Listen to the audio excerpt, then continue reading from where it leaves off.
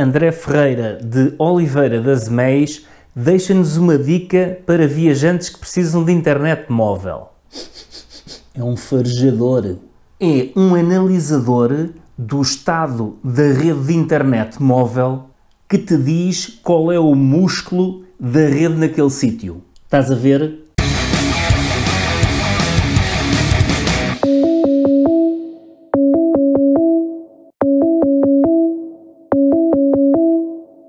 Alô, André. Eu uso uma aplicaçãozinha chamada NPF, logo Hum. que aquilo way, e é aquilo basicamente aparece lá o mapa, escolhemos qual é o provider e ele mostra tipo Uhum. no mapa onde é que há cobertura 4G, 4G mais, 3G Ah, mais, isso é 3G, 2G. Tenho andado a trabalhar e uh, preciso de internet constante.